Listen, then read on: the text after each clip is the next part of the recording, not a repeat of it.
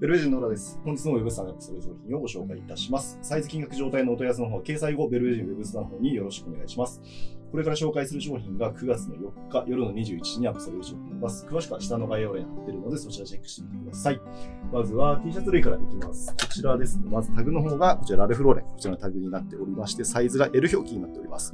えータートルネックのロンティータイプ、そしてボーダーが入っていて、ポニーマークがオレンジで入っております。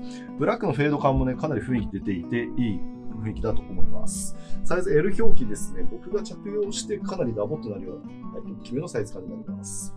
こちらでお値段なんですけれども、こちら5800円に消費税になります。続いてこちらの T シャツですね。タグの方がこちらのディズニーのタグがついていまして、サイズが S 表記 S と M という表記になっております。100%コットンのボディでこちらヘンリーネック仕様ですね。そして左胸にこちらのプリントがラバーで入っております。ちょっと薄地味がね、ところどころ見受けられたりはしますけれども、致命的なダメージ感は全然ないです。サイズが S、M っていうふうに書いてありますが、僕が着用するにはちょっとジャストめなサイズ感かなと思います。こちらでお値段が5800円に消費税になります。続いてこちらの T シャツです。タグの方がフルーツオブザルームで、こちらが L 表記になっております。そしてこちら2段リブのつくタイプですね。えーそしてプリントはこちらのプリントが入っております。こちらに関しても、ちょっとしたね、薄汚れぐらいの状態かなと思います。サイズが L 表記です。僕が着用して、はい、ちょうどいいバランスになるようなサイズ感の着ですね。こちらでお値段が5800円に消費税になります。続いてこちらの T シャツです。タグはこちらもフルーツオブザルームなんですけど、ちょっとタグがね、こういった感じで切れちゃってる状態で、サイズが XL 表記になります。100%コットンの白ボディにこちらのプリントが入っております。ちょっとね、薄い汚れでしょうか。ところどころ見受けられたりするコンディションではありますが、はい、コンディション自体はね、ダメージとかは全然ないです。サイズ XL 表記、僕が着用して着丈長めになる、はい、大きめのサイズ感です。こちらでお値段が6800円に消費税になります。続いてこちらの T シャツです。タグがこちらのアンビルボディですね。サイズが L 表記になっております。100%コットンの白ボディにこちら、日立ですね。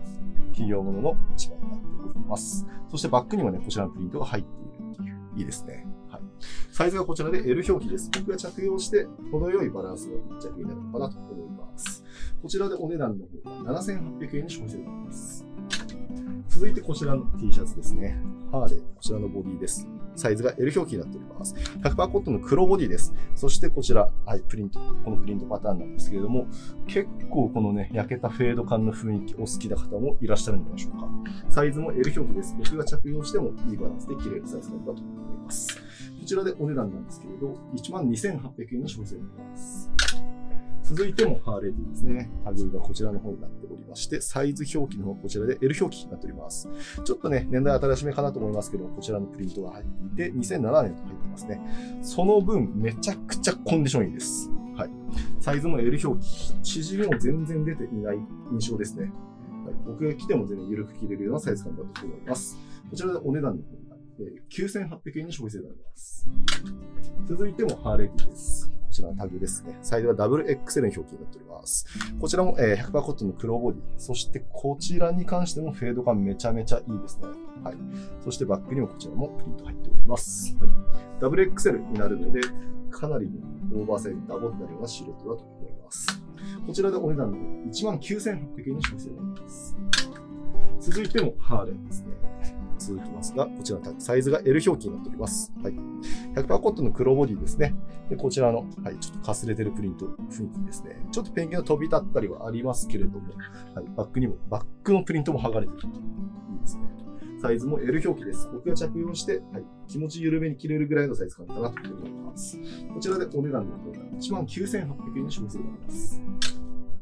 続いてこちらですね。タグの方がこちらリキッドブルー、こちらのタグがついて、サイズ XL 表記、100%コットンの黒ボディですね。で、こちらのプリントが入っていて、このラバーですね。はい。で、入っております。黒のね、体色ぐらい全然見受けられなくて、コンディションかなりいいと伝わるのかなと思います。サイズも XL 表記です。僕が着用してもダボとなるような大きめのオーバーサイズですね。こちらでお値段9800円に消費税になります。続いてこちらの T シャツです。タグの方、フルーツオブザルムですね。サイズは XL 表記、100%コットンの黒ボディ、そしてこちらのプリントで、バックにもですね、こちらのプリントが入っております。ゲームの一着ですね。はいちょっと若干の使用感はありますけど、致命的なダメージはないです。サイズもこちらで XL 表記。僕が、はい、着用するとフルーツの XL、着丈長めになるサイズ感になります。こちらでお値段9800円に消費税になります。続いて映画 T に入っていきます。タグがこちら、ヘインズ、リーフィー、サイズが XL 表記です。100%コットンの黒ボディですね。にこちらのタイトル入っていまして、コピーライトの方もしっかりですね、背景が入っております。こちらもね、水通ってないぐらいのコンディションですね。バッキバキの一着です。サイズも XL 表記、縮みなしですね。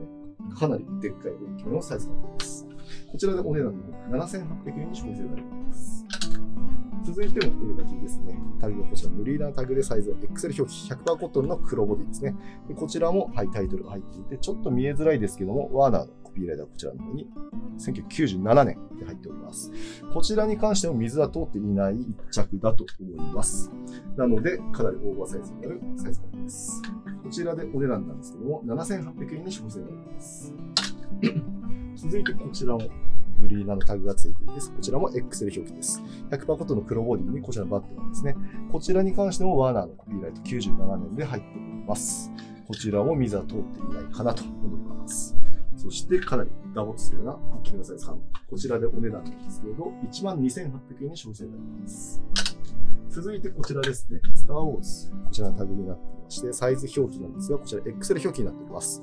100%コットンの黒ボディですね。にダースモールのこちらのプリントが入っております。かなりグラフィックいいんじゃないかなという風に思います。バックにもこちら、ちょっと小ぶりで入っておりますね。こちらでサイズ感が XL 表記ですね。はい。僕が着用してもかなりダボとなるシルエットの一着です。こちらでお値段なんですけど、15,800円に消費税になります。続いてバンティですね。タグの方はこちらついていないものになるんですけども、ネイビーボディにこちらレジャーゲンストマシンのプリントが入っております。はいまあちょっとタグケースソンとね、少しボディのフェード感もあったりはしますけれども、致命的なダメージは全くありません。えーサイズ表記あったとしたら、こちらで XL 相当あるのかなと思います。全然僕でもね、ゆるく切れるようなサイズ感です。こちらでお値段なんですが、19,800円に消費税になります。続いてこちらですね。タグの方がこちらタグがついております。サイズがこちら L 表記ですね。はい。でこちら5050ボディの黒ボディですね。でこちら PIL のプリントが入っていまして、コピーライトの方もね、こちらの方に入っております。1987年といいですね。はい。バックにもこちらですね、入っております。サイズが、サイズ表記、L 表記なんですけれども、えー50、50の 80s ボディの L 表記、ちょっと僕だとね、ビタッとなるようなサイズ感かなとは思います。こちらでお値段39,800円に消費税になります。続いてこちらも、いいですね。タグの方、こちらフルーツオブザレール、こちらで L 表記100%コットンの白ボディですね。にエアロスミスのこちらが入っております。はい。コピーライトの方もこちらですね。89年のものが入っております。バックもこちら、グラフィックめちゃめちゃいいです。はい。サイズ L 表記ですね。80の L 表記。うん、切れないことはないんですけれど、やっぱかなりジャストめになってしまいます。こちらでお値段なんですが、29,800円に消費税になります。続いてこちら、可愛いですね。アンビルのこちらのボディで、サイズが XL 表記、100%コットンの白ボディですね。に、こちらグレートフルデッド、デッドベアですか。が入っております。で、こちら94年のコピーライトも入っております。はい、ちょっとね、小さめの小穴がこちらに開いてるコンディションではありますが、全然気にならない方、おすすめの一着だと思います。サイズは XL 表記です。僕が着用してもかなり緩くダボっとなるようなシルエットです。こちらでお値段が29,800円に消費税になります。続いてこちら、マリーンハウスですね。ウィンターランド、こちらのタグでサイズが XL 表記になっております。そして100%コットンの黒ボディですね。こちら大判のアンソンらしいプリントが入っております。枠には何も入らないですね。サイズ XL 表記です。僕が着用して、ちょっと生地に少しよれてる感じも出ていて、かなりダボっとなるシルエットだと思います。こちらでお値段なんですが、49,800円に消費税になります。続いてシャツ類に入っていきます。まずこちらなんですけども、タグですね。ポロカントリー、こちらのタグになって、サイズが XL 表記になっております。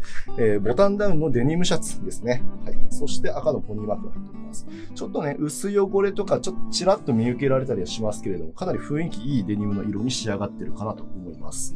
サイズも XL 表記ですね。僕が着用してかなりダボっと大きくなるようなサイズ感です。これいいと思いますよ。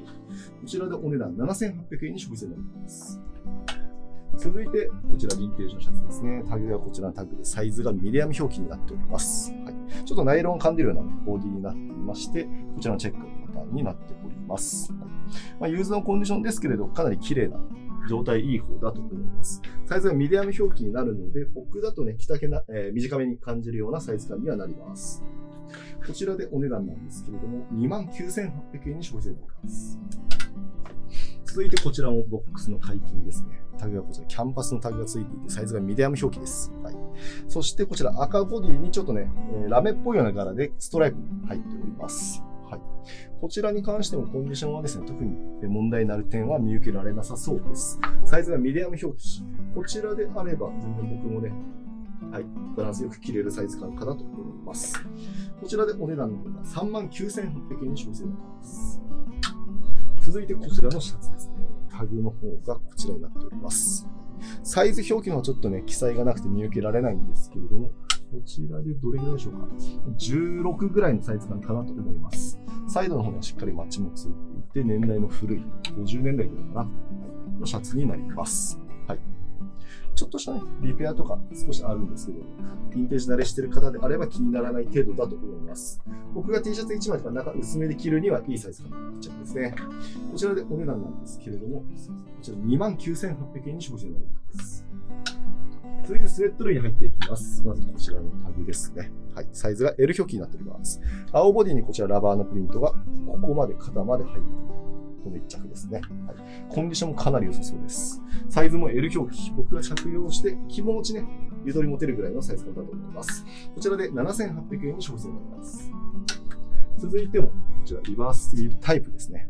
タグがこちら Velva Sheen のタグが付いていて、サイズがミディアム表記です。はい、こちらのタグも残っていて、裏起毛もね、めちゃくちゃコンディションいいです。はい、そしてプリントはラバープリント入っております。はい、こちら本当にコンディションはいい一着です。バックも表と同様のプリントが、ね、両面で入っております。こちらのサイズ表記がミディアム表記になるので、僕が着用すると、ちょっとビタッとなるようなサイズ感だと思います。こちらで7800円に消費になります。続いてこちらのスウェットです。タグがラッセル、こちらですね。サイズが XL 表記、アメリカ製の1着です。そして3トーンになっていて、前 V のこちらのチビタグも付いております。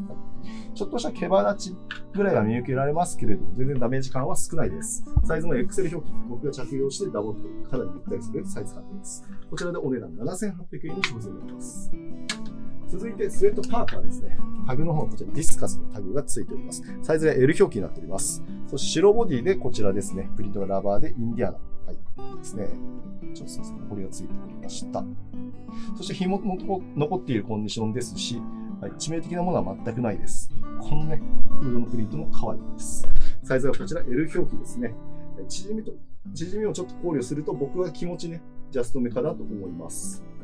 こちらでお値段が7800円の消費税になります。続いてこちらのスウェットパーカーですね。タグはこちらリードボデになっております。サイズがこちらで L 表記ですね。そしてグレーボディにラバープリントがこちらで3段。コーストガード USC。いいですね。そして、こちらも、えー、ダメージというダメージはね、全く見受けられないコンディション良好だと思います。サイズがこちらで L 表記になっているので、こちらで僕が肝、えー、ちょうどいいね、バランスのサイズ感だと思います。こちらでお値段が12,800円に消費税になります。続いて、ヴィンテージスウェット。いいですね。じゃあ、タグの方はついていないんですけれども、黒ボディです。はい、そして、こちらのプリントもめちゃめちゃいいですね。もともとカラーフロッキーだったんじゃないかなと思います。まあ、ちょっとね、こう焼けてる感じとか、少し生地が薄くなってるところとか見受けられますけれども、全然ダメージというダメージ少ないです。えー、サイズ表記あったとすると、ミディアム表記が縮んでるぐらいの実寸かなと思います。はい、僕だとちょっと着用難しいです。こちらでお値段35,800円に消費になります。続いてリバースウィーブですね。まずこちらが90年代の刺繍タイプ。サイズが XL 表記です。そして、もうまんまですね。ダートマス。ダートマスグリーンにダートマス。ラバープリントが入っております。ちょっとやれてる感じとか、プリントこのね、擦れてる感じもありますので、逆に雰囲気お好きな方、ぜひおすすめです。サイズ XL 表記、僕が着用して、かなりゆったりするような大きめのサイズ感になっております。こちらでお値段なんですけれども、29,800円に消費税になります。続いてもリバースイーズ。タグの方が90年代、サイズが XL 表記です。はい、そして首のドリブがね、少し擦れてる印象はありますが、グレーボディでラバーブリック2段入っております。はい、し首元がね、ちょっと擦れてたっていうぐらいで、他特に目立つところはなさそうです。サイズ XL 表記、僕が着用してゆったりするような決めたサイズですね。こちらで17,800円に消費税になります。続いてもリバース。タグはこちらも90年代、サイズが XL 表記です。グレーボディにエンジラバーですね、3段で入っております。こちらはコンディションかなりいい点だと思います。こちらも Excel 表記、僕が言ったりします。お値段が1万5800円に消費税になります。続いてもリバースですね。タグこちらも90年代の Excel 表記。そしてこちらもラバープリント3段で入っております。ちょっとね、生地はテロッとしてる感じ。なんか80年代近いような。はい。うわ、バックもいいですね。はい。プリントが入っております。はい。サイズこちらも Excel 表記。大きめのサイズ感になります。こちらでお値段1万9800円に消費税になります。続いてフリース類ご紹介いたします。まずこちらパタゴニアのスナップティですね。タグの方がこちらになっていて、サイズが XL 表記になっております。そしてこのね、えーアイボリーっぽいような色味なんですけれど、こちら、ちスナップボタン、第2ボタンのこちらの方がね、ちょっと破損しちゃっているコンディションにはなってしまいますが、フリースの状態自体はね、かなりふわふわのいい状態だと思います。サイズは XL 表記です。僕が着用してもかなりね、大きめになるようなガバッとしたサイズ感になります。こちらでお値段9800円に消費税になります。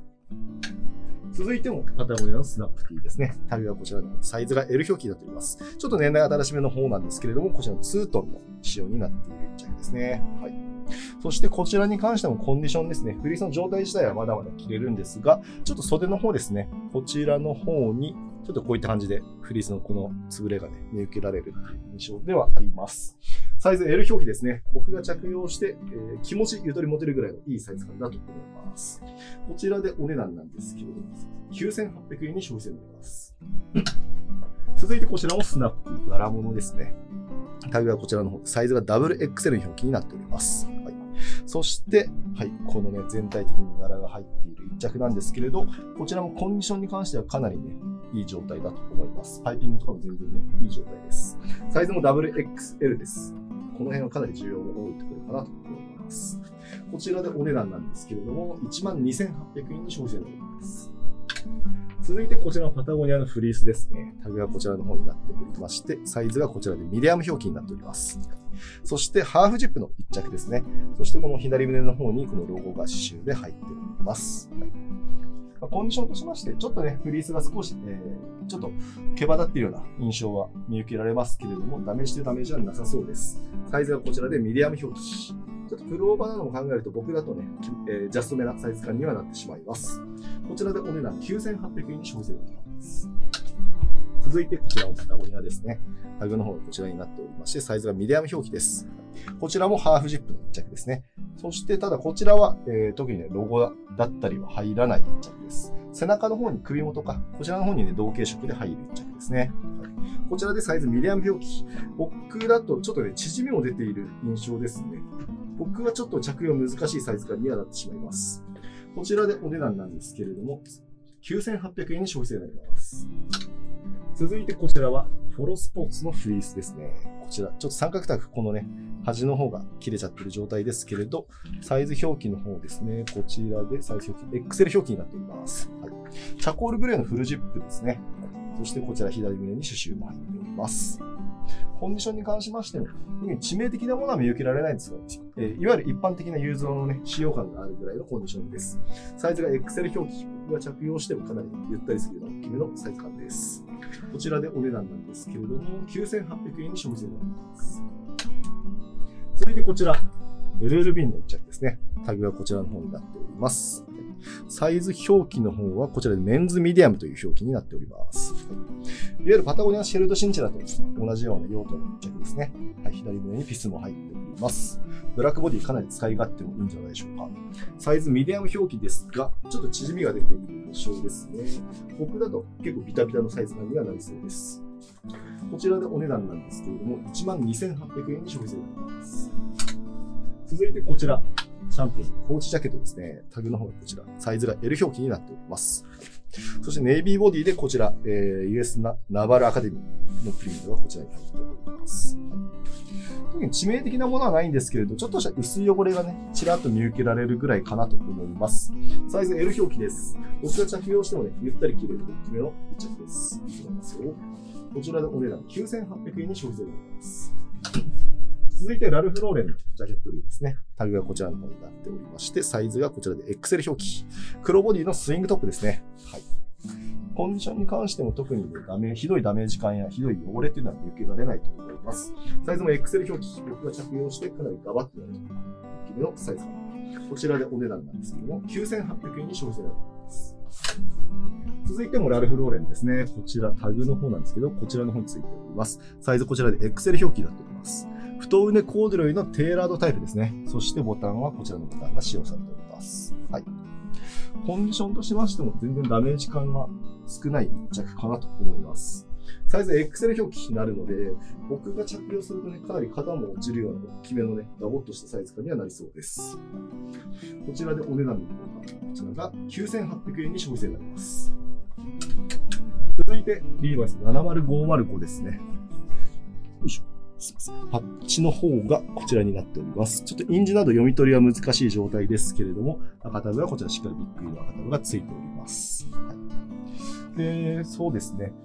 ひどい、こう、ダメージ感っていうのはないんですけれども、襟元若干のスレがあったりだとか、ちょっと袖の方ですね。こちらの方にちょっと気持ち擦れてるような印象ではあります。バックの方もこういった形ですね。そしてこちらでサイズ感なんですけども、実質36っていうサイズ感になっております。僕だとちょっと着用は正直難しいサイズ感にはなってしまいます。こちらでお値段39,800円に小生になります。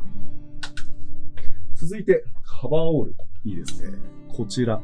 ちょっとね、そのタグの方はもう印字は何も読み取れない状態なんですけれども、ボタンの方ですね。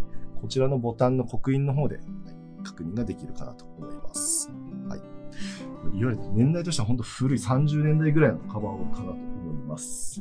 はい。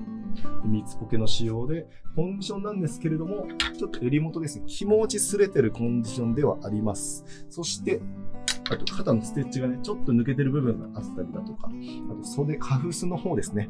こちらの方が擦れてる、この左袖の方ですね。擦れていて、ちょっとボタンのカフスボタンが飛んじゃってる一着にはなります。はい。そしてバックの方もこういった形ですね。まあ、ただ、なかなか出てこないカバーだと思います。形もちょっとね、なんか面白くて、僕も着たんですけれども、えー、僕は普通に着れるサイズ感です。ただなんかショート丈の感じになっているので、本当なんか面白い形。なかなか出てこないところだと思います。本当に。こちらでお値段なんですけども、19万8000円に消費税になります。続いて、キッズのこのヴィンテージスウェット、デッドストックを紹介いたします。えー、タグの方ですね、こちら、オニータのこちら40年代のタグがついております。はい。そして、まあ、こちらもついているので、本当正真正銘ね、デートストックの状態になっております。まあ、コンディションは特にね、もう何も言うことはないんですけれども、まあ、縮みとかも出てくるものなのかなと思うので、まあ、4、5歳ぐらいのお子様に着せていただくのがいいかなと思います。こちらでお値段ですね、7800円に消費税でございます。続いてバック類をご紹介いたします。まずこちら、オールドコーチ、コーチバッグですね。はい、でこちら小ぶりな黒のレザーの一点です。内側の方にですね、こちらの、はい、コーチの印字もこちらの方にしっかり入っております。かなりコンディションもいいですね。まあ、僕が持ったとして、まあ、完全に女性が持つでしょうけど、僕が持ったとしてはこれぐらいのサイズ感になります。こちらでお値段ですね、9800円に消費税になります。続いてこちら、キャンバスのトートバッグのご紹介をいたします。はい。こちら白のボディですね。ちょっとまあ白っていうところもあるので、少しね、汚れ感が、薄い汚れがちらほら見受けられたりするんですが、逆に、え雰囲気よく仕上がってるものなのかなと思います。中のコンディションに関してもこういった形になっております。はい。まあ、僕が持ったとしてこれぐらいのね、結構大きめになるようなサイズになってます。LL ビンと差をつけたい方、ぜひおすすめです。こちらで19,800円に消費税になります。続いてデッドストックのパンツを1着ご紹介いたします。こちらディッキーズの874ですね。はい。このテープも残っていて、ウエストが30、レングス30の表記になっております。はい。こちらの内タグの方にもしっかり記載は見受けられます。はい。でチャコールグレーの1着ですね。僕も持っていてかなり使い勝手いい色味です。こちらでお値段7800円に消費税になります。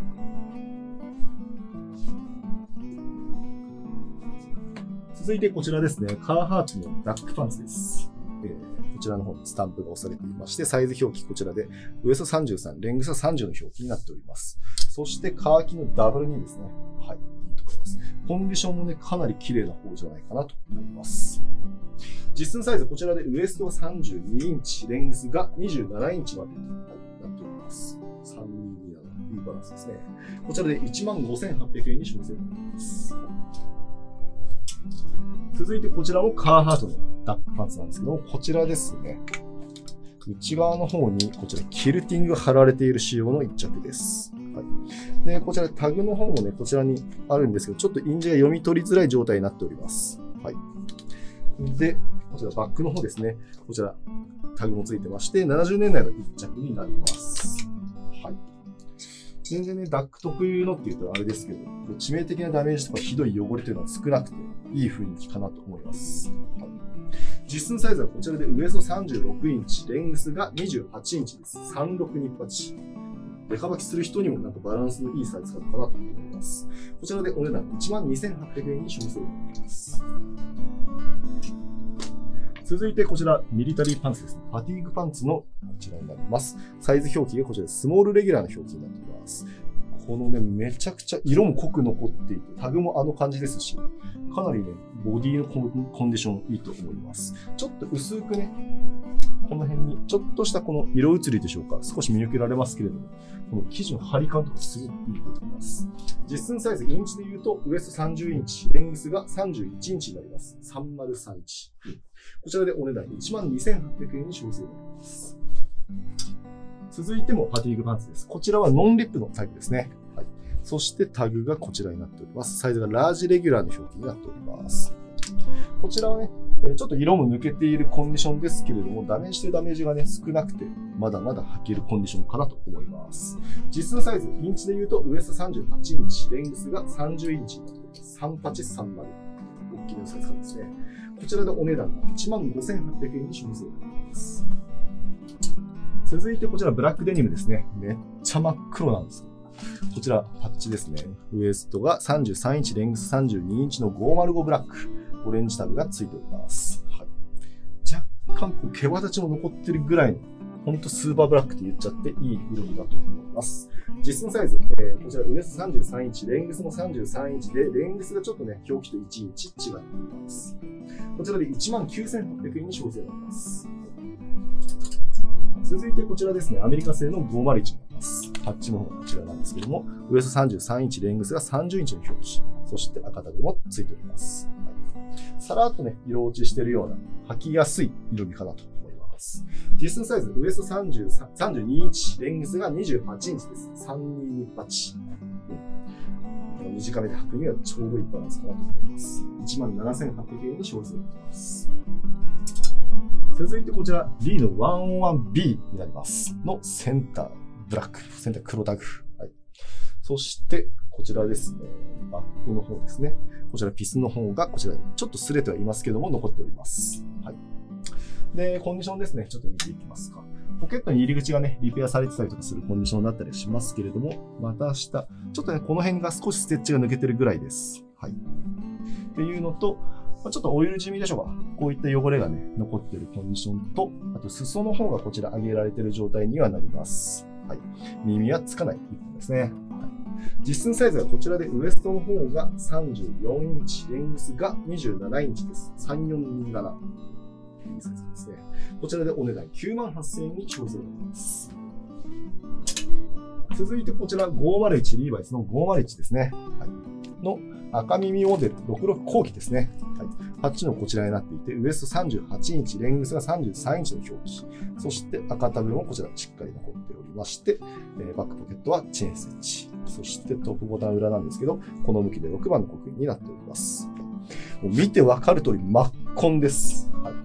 もうめちゃくちゃ毛羽立ちも残っている状態になっております。ただ、ちょっと一点説明しなきゃいけないんですけれど、内股の方ですね、この膝部分に来る場所ぐらいまで、ちょっと詰められてる状態にはなっております。なのでちょっとね、気持ちシルエットが通常の501とはまた違った印象だと思います。そしてちゃんと耳も残っております。はい。で、こちら実寸サイズですね。ウエストの方が36インチ、レングスが30インチ。結構ギュッとね、縮んだ66後期になります。はい。こちらでお値段、詰められている分ですね、かなりお買い得。49,800円に消費税になります。続いてこちら 501WX になります。WX なので、こちらですね。隠しリベットの方ももちろんついておりまして、スレーキリベットはカッパになっております。はい。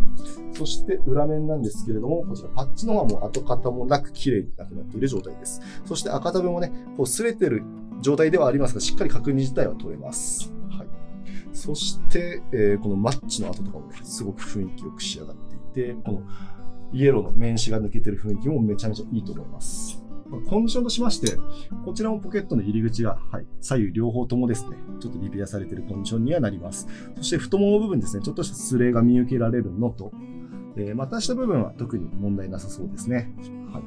そしてこの膝部分ですね、ちょっと多分映像だと本当に伝わらないと思うんですけど、こう叩きのリペアが入っていて、めちゃめちゃうまいリペア、ここ施されてあります。はい、そしてレングスの方はこちらオリジナルのレングスになっております。はい。裾口もね、こういった感じで叩きのリペアが入っている一本にはなります。この裏面ですね。は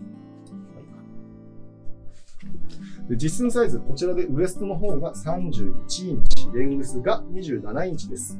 3127。オリジナルレングスでこの短さは本当に少ないと思います。こちらでお値段19万8000円に消費税になります。続いても 501WX になります。はいこちらも WX なので、え隠しリベットですね。こちらの方についております。はい、そしてスレーキリベットはこちらもカッパーのになっております。そしてこちらのバックですね。こちらもパッチはもう跡形もなく綺麗になくなっている状態で、赤タブがこの状態ちょっと擦れてる。もうちょっとね、印字がもう読み取れない状態になっております。はい。そしてこちらですね。ちょっとコンディション見ていきますか。ちょっとポケット入り口が擦れてるっていうぐらいと、あと、両太もものところですね。叩きのリペアが入っております。で、股下に関しては、えーまあ、ステッチ抜けとか若干の擦れはありますが、まだ大丈夫そうです。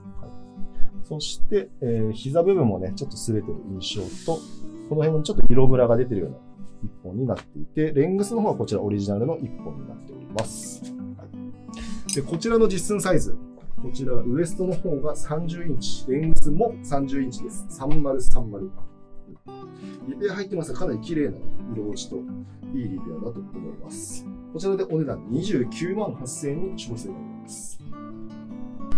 えベルベージュの方で買取委託販売の方を行っております。え直接お店の方にお持ちいただいても構いませんし、郵送でお送りいただいても構いません。何かご不明点あれば、え店頭にお電話いただくか、インスタグラムのダイレクトメッセージでやり取りさせていただけたらと思います。よろしくお願いします。